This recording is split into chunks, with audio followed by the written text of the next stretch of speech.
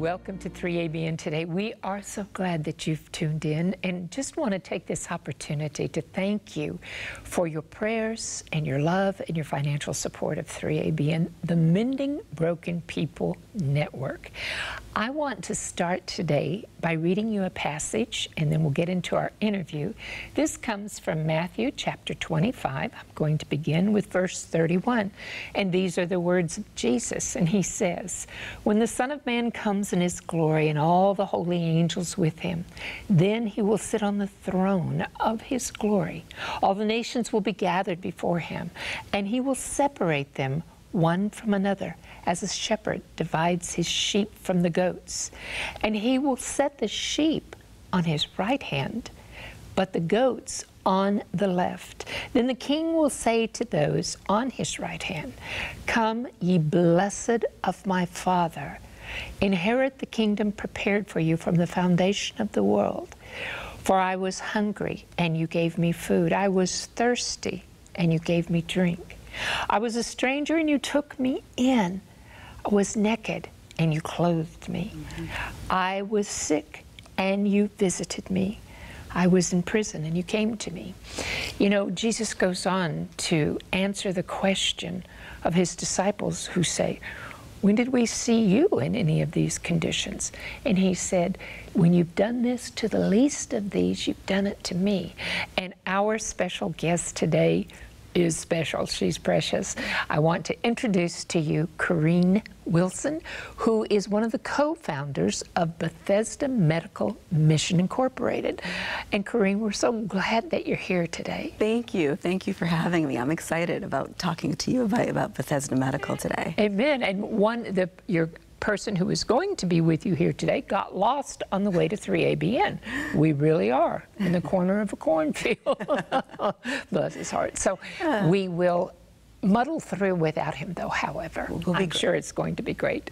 Before we begin, though, we have Johan Santana, and he's a I don't know if you've heard him play, but he mm. is an amazing pianist, mm. and he is going to play for us "Tis So Sweet to Trust in Jesus."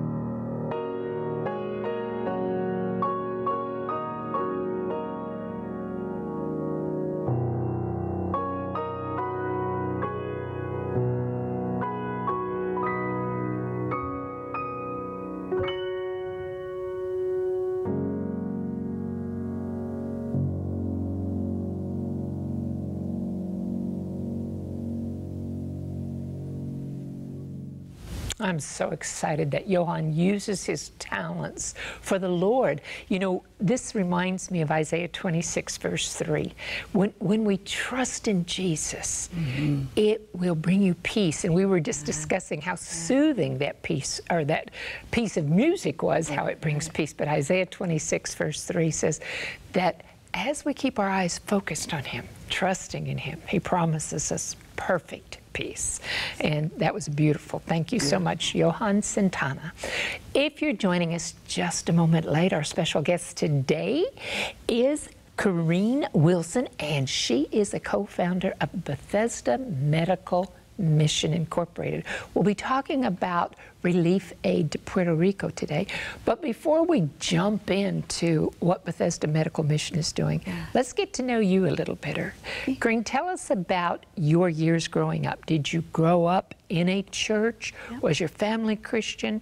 How did you get so interested in the Lord's work? Yeah, so I was, as we were discussing earlier, I grew up in Winnipeg, Manitoba, and I went to Parkview Adventist Academy. I also went to Canadian Union College, which I believe it's called now University and I transferred to Loma Linda University and finished my degree in dental hygiene there.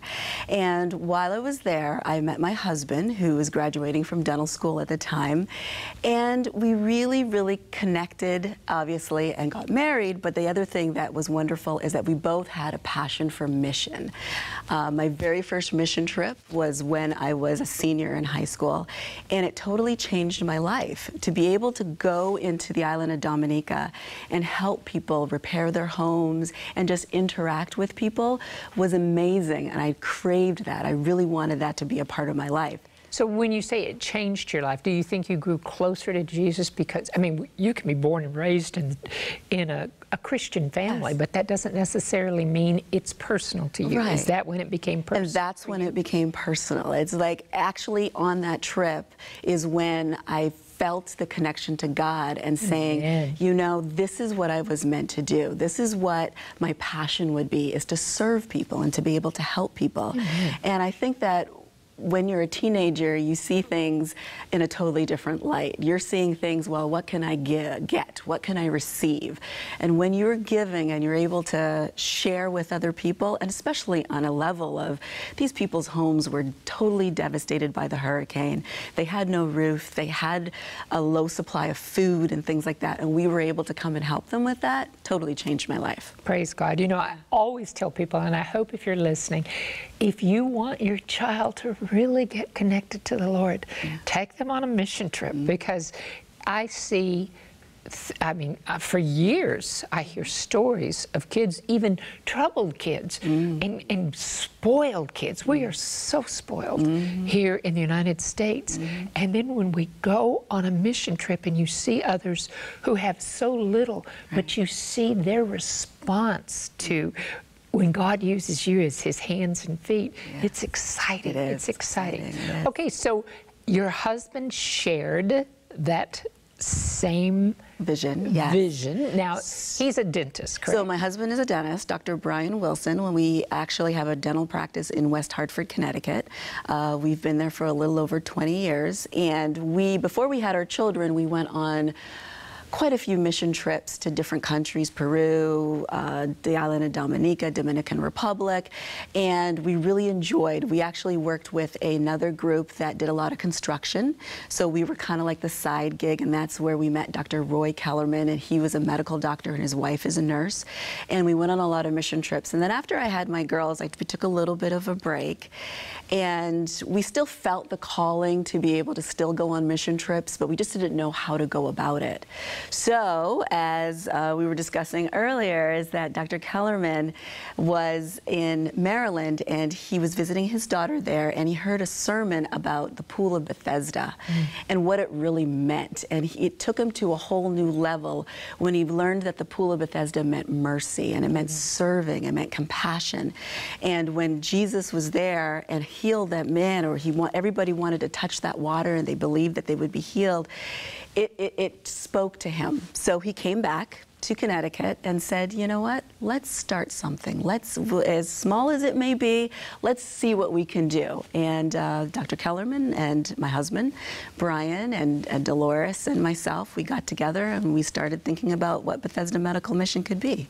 And so, as you were planning this and seeking the Lord, mm. how did He lead you? I mean, I know now that Bethesda Medical Mission Incorporated is a 501c3, a nonprofit, mm-hmm. and all who are there volunteer their time. Nobody gets paid a salary from this. So everything that you're doing when the funds come in, mm-hmm. it goes to the relief Immediate of care. the needy. Yes. But how, tell us about that planning stage because there are people out there who feel like God wants them to do mm. something, but they don't know how to get started. Yeah, so it is. It was a lot of planning in the beginning because, and I think what jump started it was because of the immediate response that was needed in Haiti after the earthquake. Yes. It was so devastating that we couldn't even get in right after the year that it happened, but we knew that, especially after the earthquake, that people needed care, and so we said let's make it a uh, medical professional group. So it would be a group of people either on the medical field or in the dental field, and let's go in and see where we could help. So that's what we did. We came together with a group of people who were like minded. We sent out the call to different people that we knew that might be interested in, in joining us. And we were very surprised to get a lot of people that really wanted to help. If they couldn't go on the mission trip themselves, they decided to send money or donations to help us and it was a blessing. I think our first trip we had a little over 30 people that joined us. Praise and God. we were able to provide medical and dental care to anybody and everybody who came to our clinics. They were mobile clinics because we tried to move around a little bit so that we could reach people but it, it really was a blessing and we saw so many wonderful things. Wonderful, wonderful. So you've been back to Haiti how many times? Uh, we've been to Haiti for five trips. We've done five mission trips since that first trip. Okay. Now, give us a little of, um, when you said there was a lot of planning, mm-hmm. just tell us a little bit about the process of that because once again we have people I know who are interested. Right. Tell us a little of the process of that. So the process is is that we had to find uh, a group to work with while we were in Haiti. So when you're going into a developing country or going into a place that you want to serve, it was very much uh, advantage to us to know what was going to be happening on the ground. So we had to find somebody that we could have somebody the connection with, and so we found somebody in Haiti. Uh, we actually had a local pastor that we worked with actually in Connecticut, and he helped us with planning everything on the ground. First and foremost is to make sure that everybody was safe, making sure that we would have clinics or places where we could go and we could set up our clinics, and to actually find a place where we could serve and that we could do it effectively. So that took a lot of planning. Uh, the other thing is, is trying to find housing for everybody. So that is another step of something that takes a lot of logistics, a lot of time and energy to get into. Yes. And then also the people that are going to be joining you. What are they going to be doing for the time frame that they're there? Are they going to be working uh, in a OBGYN, helping the, uh, or helping the pediatrician, or helping the dentist?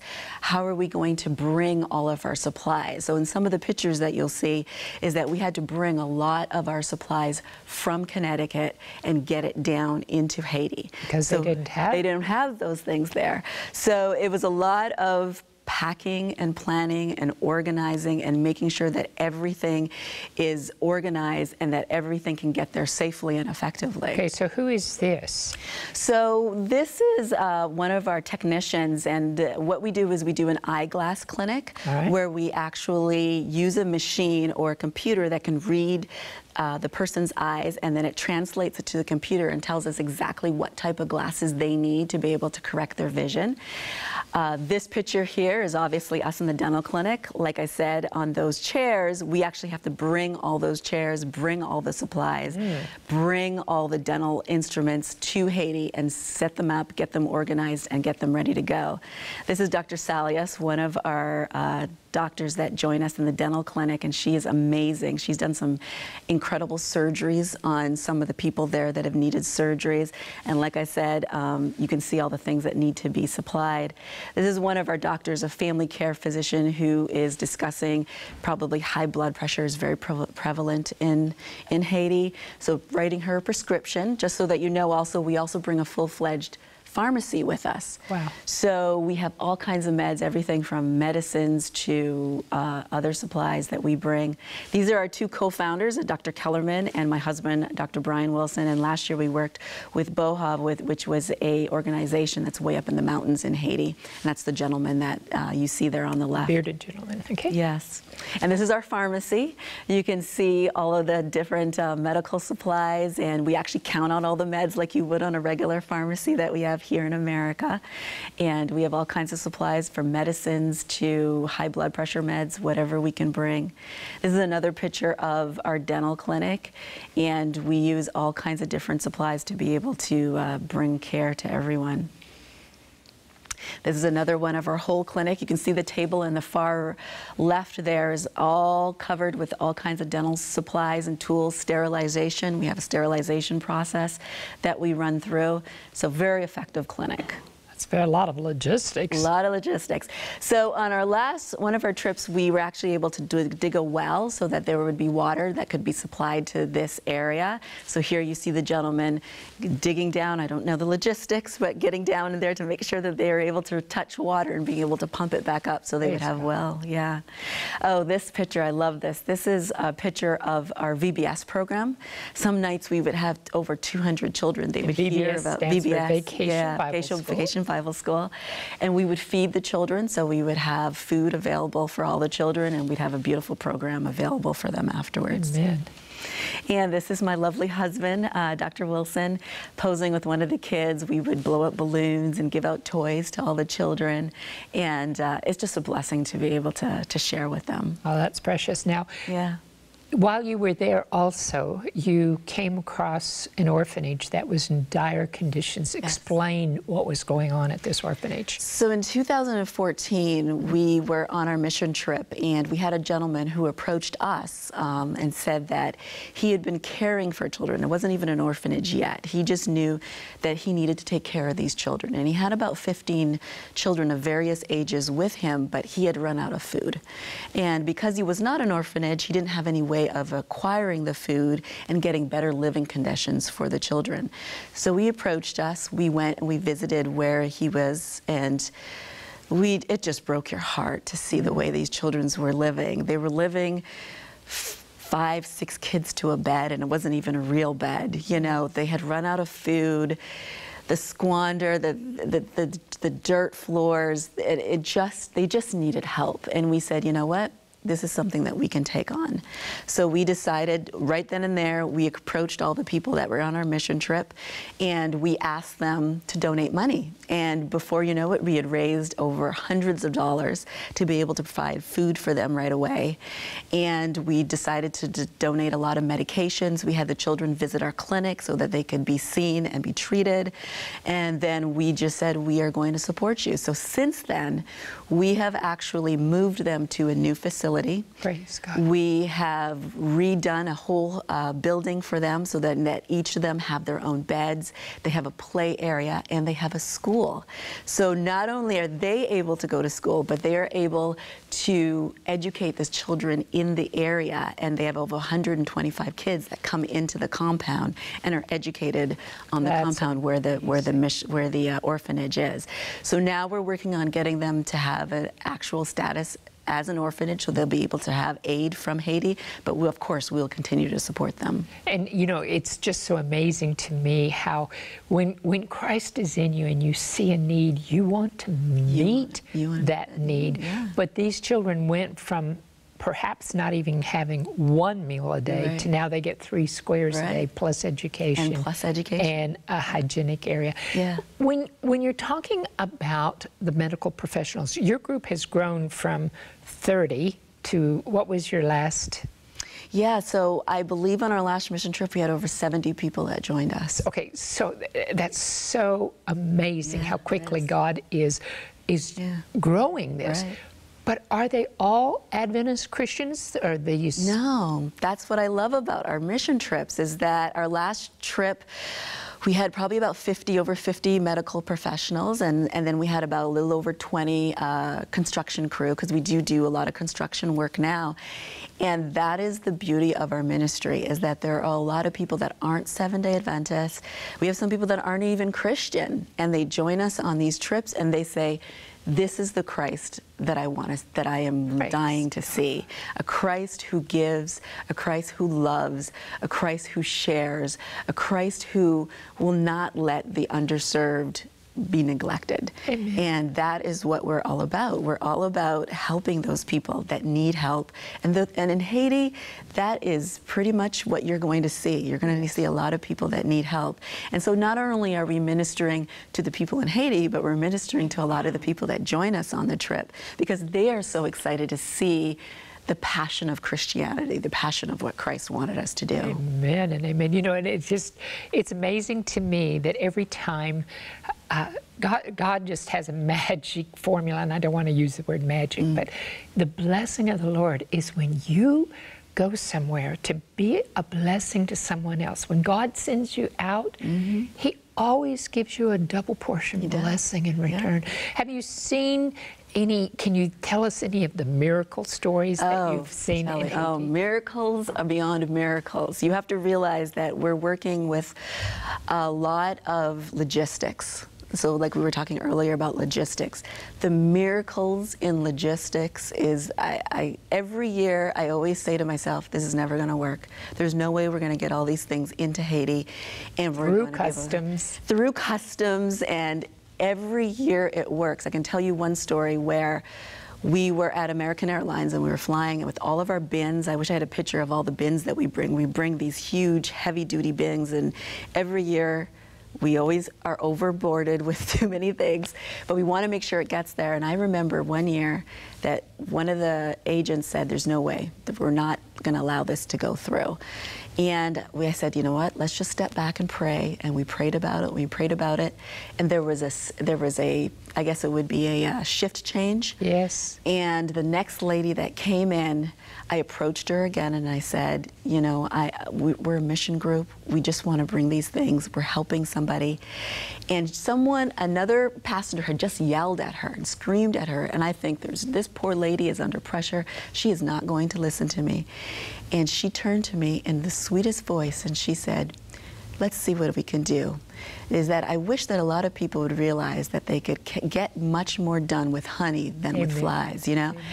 And she turned to us and she said, Let me go talk to my supervisor. And did you know that that supervisor was from Haiti herself and she allowed everything to go through? Praise God. And she didn't even charge us. Praise That was the hard part. I was like, if you charge us, I'll be happy.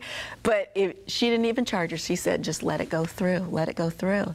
Um, when we're in clinics in Haiti, there are plenty of times when people come to the clinics and we see a lot of children who have been neglected, who have wounds, and who need special healing. And we have seen they've come back to the clinic a few days later and they're better, they're healthier. Just be able, just being able to give them the medication that they needed Yes. and us being able to have it there for them is amazing.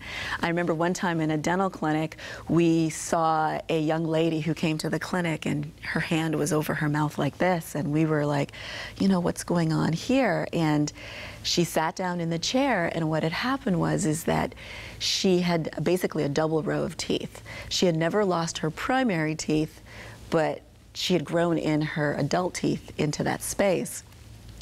And she was very embarrassed by it, and she was very mm. shamed by it. And one of the doctors says, you know what, we can help her. So we found her mother to ask for permission to do that. And as I sat down to do my periotherapy on my patient, I said, oh my goodness, what is this? And it was the same situation. They were twins. Oh. And the same thing had happened. So that day we were able to do dental surgery on both girls and be able to give them their smiles back.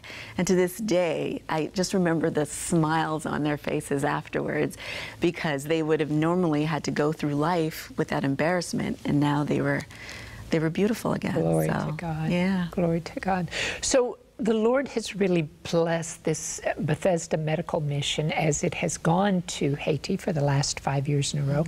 But recently, mm. uh, Pastor Herrera from mm. Connecticut mm. came to you with a new plan. Yeah.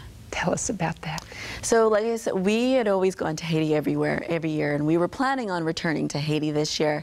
But after the hurricane in Puerto Rico, Pastor Herrera approached our organization and said that, you know, what you are doing in Haiti would very much be a benefit to what's going on in Puerto Rico. And because of the hurricane, a lot of homes were damaged, Yes. and there was a lot of help. The construction crew that we had normally used in Haiti would have been a great benefit in, in, in Puerto Rico. So this year we have decided to take Bethesda Medical into Puerto Rico and report, re- repair some homes that are going to be damaged and also to do some health fairs and to do um, some health clinics in Puerto Rico to help the people of Puerto Rico. And, you know, if somebody, uh, we have a tendency in the United States that um, I, I just say we've got the attention span of a hummingbird because whatever's on the news is what you feel like is going Right, on, but right. there is still There is so much need, suffering so much Rico. suffering it's on not the over. ground. Yes, and that's what our plan was. Is that, you know, after you're right, after a few months, people it dies down and people forget about the need that's going on. But there are many people that are still devastated. Just even to have clean water, to have their homes repaired, to receive medical and dental attention. Those kind of things are still very much needed in, in Puerto Rico. So, such uh, uh, such summer of 2018, we'll be going there. Praise God. So, um, the Pastor Herrera, I know I heard something mentioned or, or read something mentioned that he's he has an association with Hay Esperanza para Puerto Rico, which means there is hope for Puerto Rico, and a lot of people there really were close to losing hope or mm. have lost hope. Mm-hmm. We, s- we have some friends who live there, mm. and they said the suicide rate is up. There are mm. people who feel like life will never get back to normal. yes. So, explain what do you know much about that group, or can you give us? I know Pastor Herrera was supposed to be with us today. Yeah, so Pastor Herrera was supposed to be with us to explain a little bit more about that. From what, from what he had explained to us is that there was a lot of devastation that had happened in Puerto Rico, and that a lot of the things that we heard here in America, that things were much better and that things were, were simply not accurate. That there was a lot of people that were still suffering. There were a lot of people that still were without their homes, that were still had a lot of issues going on, and that we needed to address that, and we needed to still send people into Puerto Rico to help. So that would be my appeal today: is that everybody would understand that there's still a lot of people that are suffering. They they need financial, emotional, spiritual help Yes. um, to go into Puerto Rico and be able to bless the people that are going on there, that are that are suff- still suffering there. So I do hope that people will still realize that we still need to be there. We still need to be on the ground. Amen. So, when you uh, are not on, a, how many mission trips have you gone on? Personally, I have been on probably about nine or ten mission trips. Okay, and have you taken your daughters yet? No, I haven't. So this is the first year that my daughters will be going on a mission trip. So How I'm old are excited. they? My daughters are 10 and 12. Okay. Yes. So they'll be going along to help you Yeah. with. Will you do a vacation Bible school while you're in Puerto Rico? Our plans are to put together a vacation Bible school while we're doing our health clinics, and especially on Sabbath on, and on Sunday, we'll be doing larger clinics. So definitely, we'll be doing ways that we can communicate with the children. there. That's nice. So you have the children who are, if their parents are in Yeah. for the services, then Right. we've got something going on for the children. Right, yes. So, how has this changed your life personally? It has made me much more grateful um, and thankful that God has given me the ability to serve. So, of course, it's made me grateful and thankful for the things that I have in my life, Amen. but it's given me the ability to say, you know what? I have these opportunities to give and to serve. I am so grateful for it. And Amen. I, the, the one thing that always reminds minds in the back of my head is that at, the, at Loma Linda, I remember when I first arrived to the campus, beautiful campus. Yes, it is. And I remember the there's a statue at the first. It's just right outside of Prince Hall and, in, in at School of Dentistry, and it's it, it shows the pit, the uh, the story of the great Samar- uh, the good Samaritan. Yes. And underneath it, it says to make man whole. Amen. And that is what we're here to do. I honestly believe that that that story pr- shows how we as human beings need to have the connection to those that are less fortunate and how we mm-hmm. can help. And when I arrived on campus at Loma Linda, I said that was what my goal was going to be. If there was any way that I could serve, and not only overseas or in developing countries, but then also in Hartford. Bethesda Medical does a lot of health fairs. We do a lot of local things to help people that are in need. And that's what I would hope that everybody can do. And it doesn't have, you don't have to be a professional, medical, dental, whatever it is, can, whatever your passion is, whatever your goal is, is to remember that story, to make man whole. And if everybody had a little bit of themselves in that heart in, in their heart, I think that we would definitely have a much better society and a much better world. And this is something that um, probably has impacted your marriage as well. Yes, yes. When, when you are, you know, I'm very blessed. My husband is a very godly man, Mm-hmm. and we serve together. And when, as a couple, Mm-hmm. you share that passion, that purpose, Yes. and you're serving together, Right. it, it is something, it's a special bonding, cementing Right. thing. Yeah. And it seems to me that there's, as families serve together, Right. it seems that God speaks His peace into that family. It, it changes the dynamics of family, period. And and I hope that your girls, I know they're going to They're- to be blessed and get to see what mommy and daddy do, and Yeah. and they will come back, I'm sure, with more grateful hearts Right. themselves. You know, this is what Bethesda Mission is doing, Mm-hmm. is following the example of Christ method Mm-hmm. of service. And it's exciting that you're reaching not only the people that you're ministering to, Right. but the people who you take to minister. Right. You know, when you think about reach, have you, have you had anyone, you mentioned earlier that some are saying, who were not even Christians, saying, now I see the face of Jesus. Right. This is what it's all about. Right. Tell us a little, kind of expound on that a little. Well, we have had some people, uh, believe me, we've had um, not, like I said, people that are not only Christian. We've even had one person who was Buddhist that came with us. And she had always, she had worked with us in the past, but she had never really been able to see what Christianity was all about. And she said that this I could I, I, I could understand this type of Christianity. And even though uh, and you know that God sows seeds, you never know what's going on in her heart. I believe that it changed her. It changed her atti- attitude to what Christianity could be and how serving God can bless other people. Uh, we've had people that are not Seven day Adventists to say they want to learn more about the Seven day Adventist Church. They want to know more about how Maranatha and other aid groups are going into other countries to help. So I think that it has definitely changed it. And, and, and we've had a lot of people attend church services when we were in Haiti too. And there's no requirement for you to have to do that when you're on your mission trips. But a lot of the people say, yes, I want to see what it's all about. I want to see how you worship your God. And they are moved and blessed by that too. So I love it. Amen. Yeah. Well, I think you brought a couple of videos, and we'd Yes. like to show those. The first one is your husband and another gentleman who are speaking, and these are the two found. Uh, there were four co-founders, you and your husband, and then this other doctor and his wife. Yeah, so Dr. Kellerman and my husband are what you're going to see in this one video. They're just kind of doing a little bit of a wrap up of one of our trips that we had gone on. And the other video is just one of the gentlemen who had actually been to the clinic several times. Every year, I guess he waits for us to come in. Yes, and he was just saying thank you. He wanted to express his thank you and his gratitude for coming. And that's the other thing that I wanted to express too is that the Haitian people that we visit with, they are beautiful people. They are so gracious and they're so thankful for all the services that they give to us.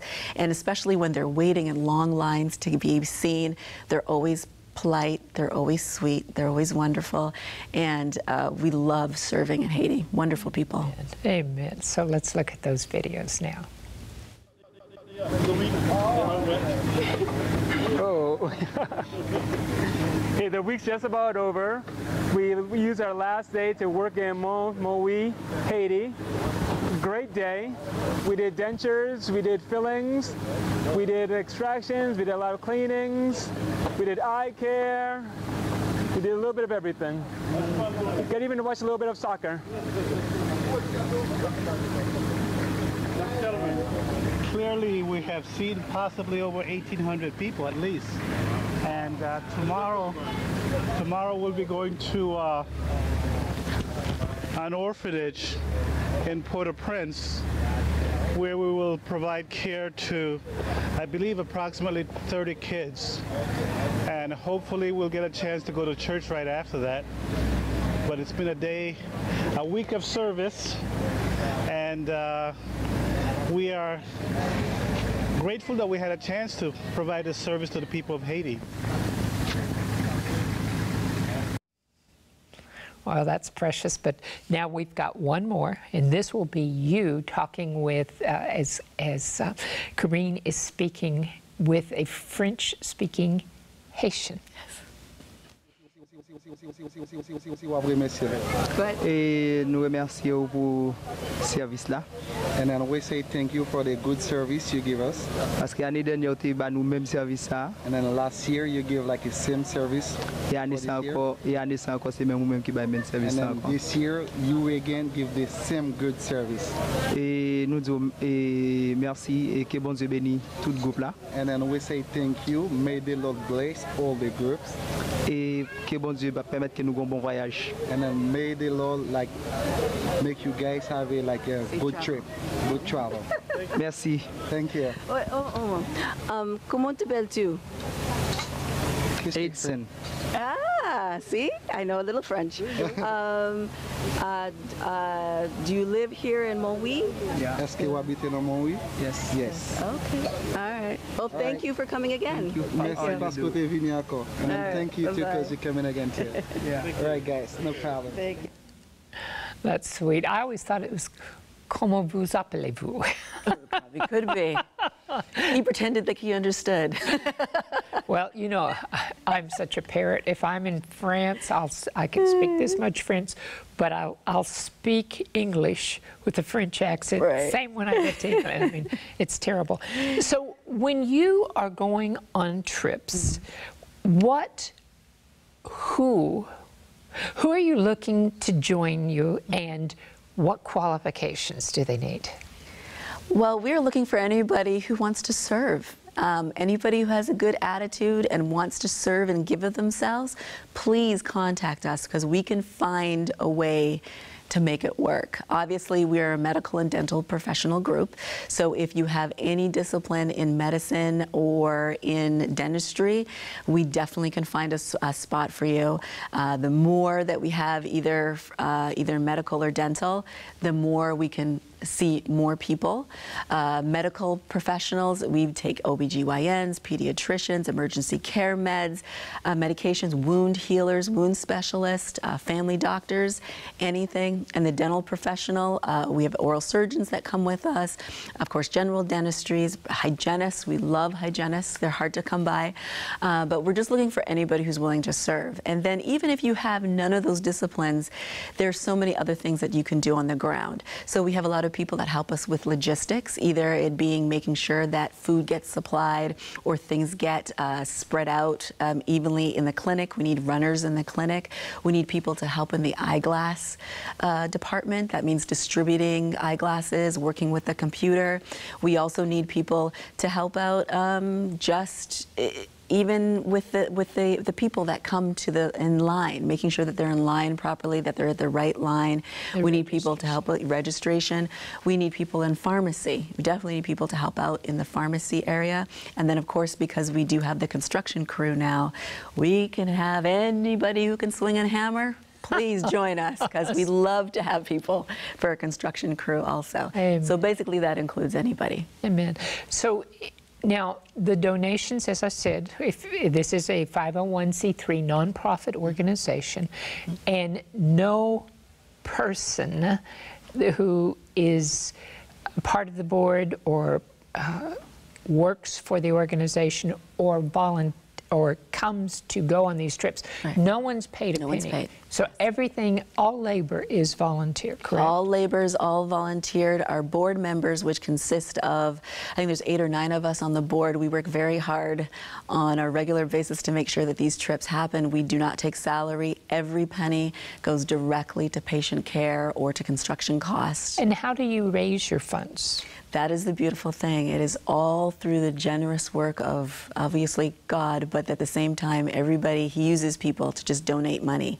Sometimes we are just sitting there and we'll get a check and we'll have money donated. We do run a golf tournament once a year. So the local people and the Connecticut people come and they obviously, it's a charitable event. So that goes towards our mission trips. But majority of it is just people one thing at a time. I, like the other day, my daughter was working on a, a project where they needed to multiply their money.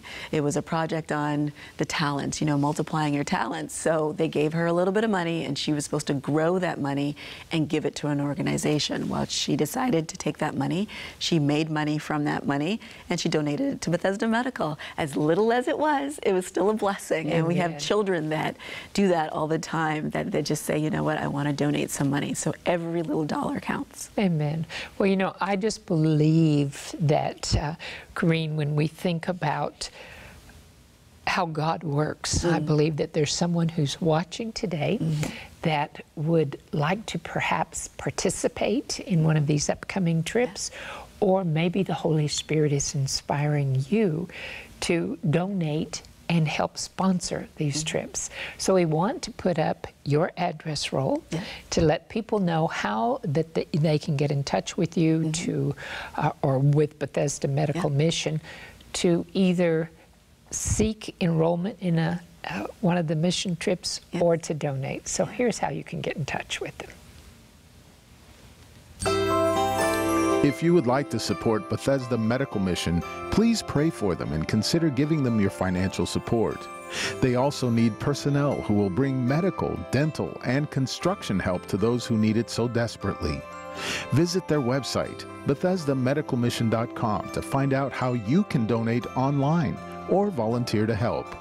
Their website again is BethesdaMedicalMission.com. You may also call them at 860 243 5569 or write to them at Bethesda Medical Mission, 836 Farmington Avenue, Suite 215, West Hartford, Connecticut 06119. And I just want to thank you in advance for your prayers and your support for Bethesda, which means mercy, mm. Bethesda Medical Mission Incorporated. Well, we wanted to bring back Johann Santana, and he has. God has given him such a gift on the piano, mm. and he is going to play one of my favorite songs. Mm.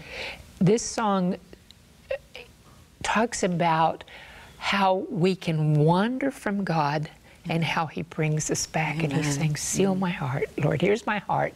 Take and seal it. And so He will be on the piano. You just have to, if you know the words, you will identify this. It is Come Thou Fount of Every Blessing.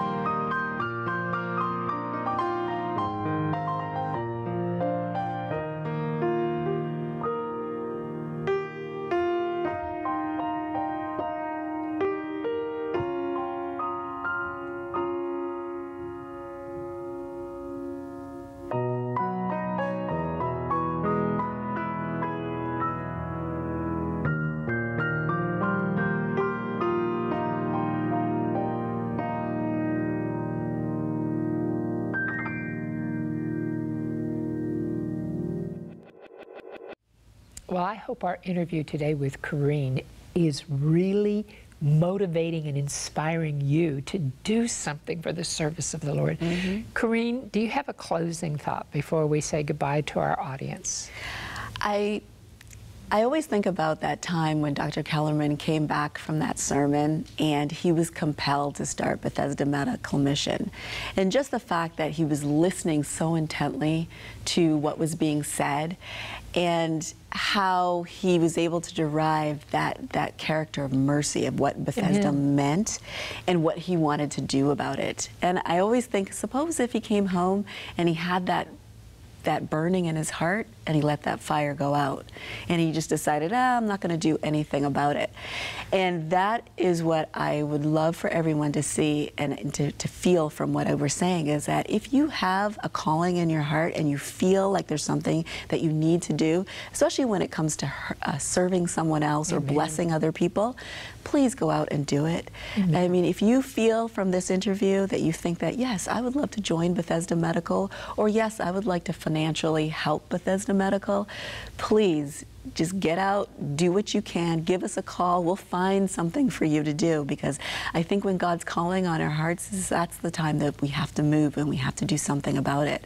The other thing is, is that Bethesda Medical is a great organization. I am so proud to be here, to be able to talk with you about it, and to be able to share with your community about how wonderful God has blessed us and how we're able to bless other people. So I am praying and hoping that Bethesda Medical will grow after all all these years of, of our service and what we've done, and that there's much more wonderful things to come. You know, I heard a pastor say the other day that there's so many times people will come and they hear a sermon and they say, Boy, that was a good sermon, mm. and nothing happens. And nothing so, what he did is on his bulletin, he has added three questions. Oh, and those three questions with a little space after them is, What new thing did you learn today? Mm-hmm. What old thing were you reminded of? Okay. And what do you plan to do about it? Exactly. You know, the Word of God is living and active. Mm-hmm. If we're living and active, mm-hmm. when that Word comes on us, mm-hmm. it is meant to motivate us, it's meant to get us up. Right. And praise God for this, the good doctor and how he responded. And, and I'm just so excited about the passion yeah. that you have for this ministry. Right. And just want to thank you for what you do for the Lord. Thank you. Thank, thank you, you for being here. Thank well, you. our prayer for those of you at home is that the grace of our Lord Jesus Christ, the love of the Father, and the fellowship of the Holy Spirit will be with you not just today, but every day through eternity. God bless.